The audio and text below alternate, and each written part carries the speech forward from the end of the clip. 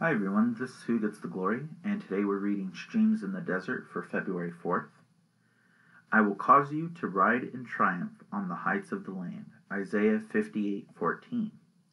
One of the first rules of aerodynamics is that flying into the wind quickly increases altitude.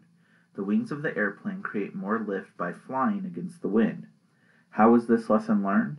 It was learned by watching birds fly. If a bird is simply flying for pleasure, it flies with the wind, but if it senses danger, it turns into the wind to gain altitude and flies up toward the sun. The sufferings of life are God's winds.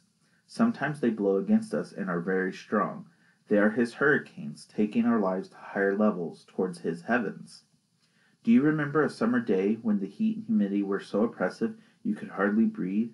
But a dark cloud appeared on the horizon, growing larger and larger until it suddenly brought a rich blessing to your world.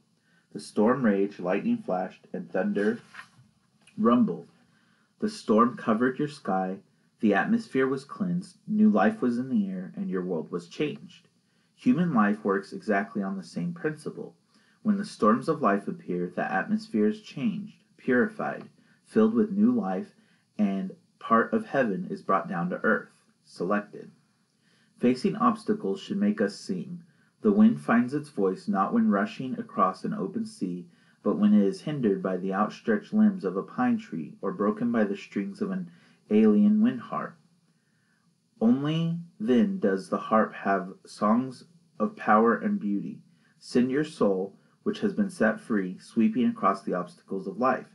Send it through the relentless forest of pain and against even the smallest hindrances and worries of life, and it too will find a voice with which to sing. Selected.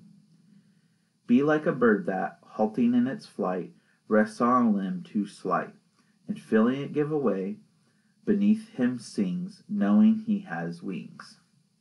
Thank you for listening. God bless you.